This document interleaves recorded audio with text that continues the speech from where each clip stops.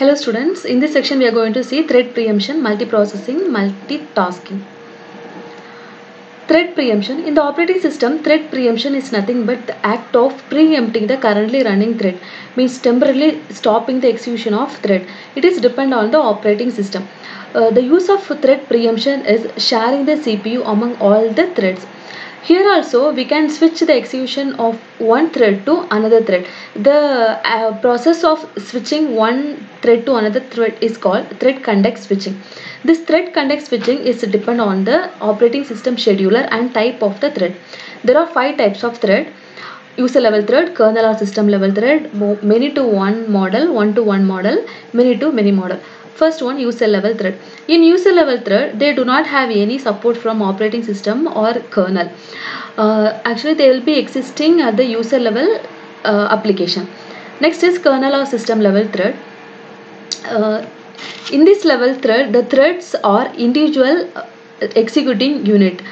Operating system consider the threads as separate thread.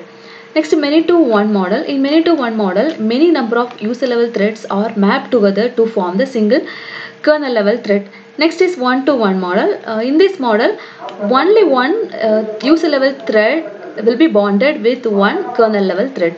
Next is many to many model. In this model, many number of user level threads are allowed to mapped with many number of kernel level thread.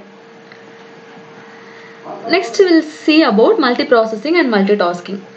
Multiprocessing, the operating system multiprocessing is the ability to execute multiple processes simultaneously. Uh, the system which is capable of performing this multiprocessing is known as multiprocessor system. In multiprocessor system there will be multiple CPUs. In unipolar system this multiprocessing is not possible but the switching from one process to another process is possible. Next multi-programming. Multi-programming is the ability of the operating system to have multiple programs in the memory which are ready for the execution. Next multitasking. Multitasking is the ability of operating system uh, to switch the processor from executing one process to another process. We have studied this this process or having um, their own set of uh, registers and program counter.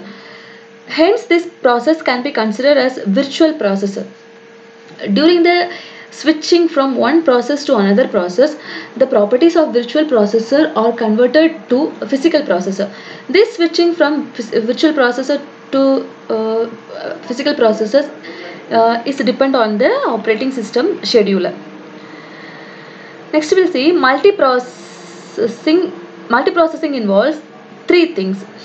Uh, context switching context saving context retrieval Context switching is nothing but uh, switching the CPU from executing one process to another process. Next, context saving.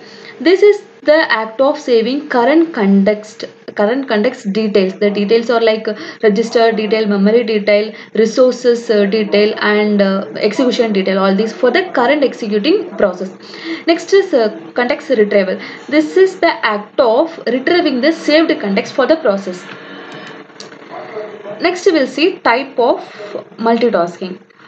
Uh, depending on the switching act there are three types of multitasking. Cooperative multitasking preemptive multitasking non-preemptive multitasking. First is cooperative multitasking. The cooperative multitasking in cooperative multitask it's the most preemptive form of multitasking. Here the task or process gets a chance to execute only when the currently executing task or process voluntarily gives the CPU. Okay, here uh, the CPU, the task or process can hold the CPU as much time as it wants. If the currently executing uh, task or process is a non-cooperative, then other remaining tasks need to wait for a long time to get the access to execute. These are about cooperative multitasking. Next is preemptive multitasking. Preemptive multitasking ensure that every task or process are getting the chance to execute. But when and how much time each task or process can hold the uh, CPU is depend on the um, implementation of preemptive scheduling.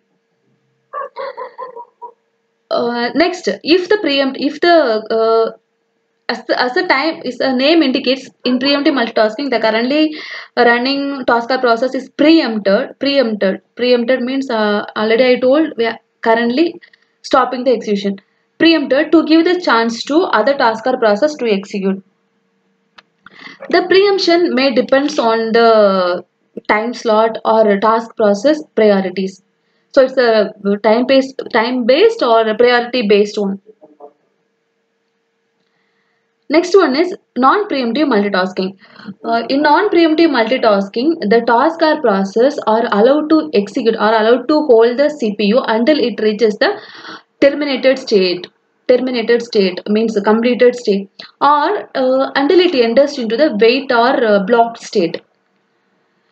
Uh, the difference between cooperative multitasking and this non-preemptive multitasking is in non-cooperative in cooperative multitasking uh, the currently executing task or process should return the should sorry no need to return the CPU when they are entering into block state or wait state. But in a non-preemptive multitasking, if the currently running task or process is about to enter into the wait state or block state, it has to before entering into block state or uh, uh, wait state, it has to return the CPU for the another processor.